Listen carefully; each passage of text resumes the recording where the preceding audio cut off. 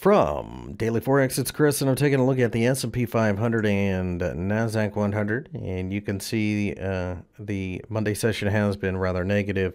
Really, at this point, though, doesn't matter. Wednesday is the Independence uh, holiday in America, and the underlying is going to be very thin. So, really, at this point, I would probably stay out. But if we do get a move, it's probably going to be in reaction to something negative. So, I think we could drop from here.